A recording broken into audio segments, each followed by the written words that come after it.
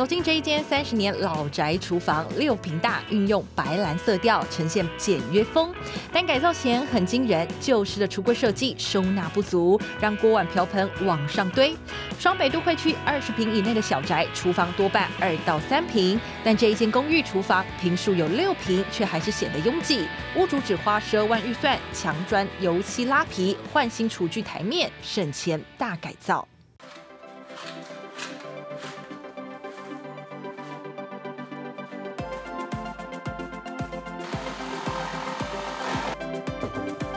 如果是以 CP 值最高的话，一定是人造石第一名，因为它也比较有弹性，所以在比如说高温的温差大的时候，它也不不容易皲裂。以前的收纳柜、吊柜通通砍掉重练，层板式收纳、可拆易调整的优点，让收纳空间放大一倍。用伸缩式收纳架有效利用空间，锅子整齐摆放，一目了然。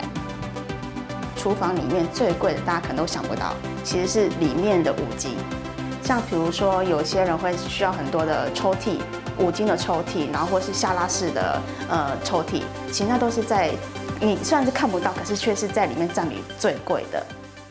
老宅厨房翻新，还有这一件中岛厨房，轻奢华的试管吊灯，再贴上马赛克砖。根据家居杂志的调查，二零二一年厨房改造需求起了很大的变化。因为疫情，民众减少户外聚会，对厨房的功能性要求更多。能煮饭、能招待朋友的中岛吧台，成为改造新趋势。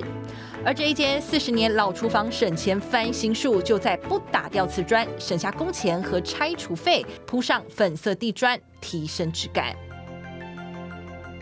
根据装修平台的统计数据，二零一九到二零二一年间，全台老屋局部翻新比例增加，浴室最高占六成，而厨房占了三成，预算在十五万以内，接受度最高。设计师表示，移动管线与打掉墙面成本耗费高，只要微调整修工法也能省钱，大改造。